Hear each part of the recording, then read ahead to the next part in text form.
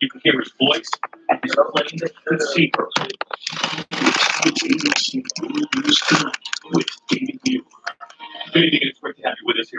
and we begin tonight with the chilling new surveillance of what authorities are now calling a targeted and deadly attack just outside New York City. The mayor calling it a hate crime.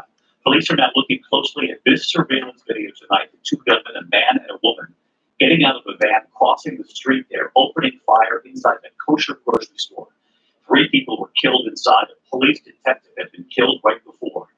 Police arriving quickly, and then SWAT teams. The firefight went on for hours. Bystanders running away from the danger, and tonight we are learning more here about the suspects. The pipe bomb that was found in a stolen U-Haul that day, and the anti-police, anti-Semitic writings online. ABC's Adrian Baker leads us off from Jersey City.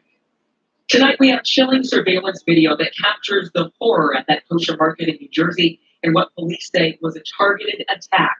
Both suspects slowly emerging from a stolen U-Haul van before one of them aims a high-powered rifle at the store and opens fire. There were multiple other people on the street, so there were many other targets available to them that they bypassed to attack to attack that place. So it was a it was clearly that was their target, and they intended to harm people inside. Police say the two gunned down the owner, Mindy Ferencz, a mother of five, and employee Miguel Douglas, and customer Moishe Deutsch. A few hundred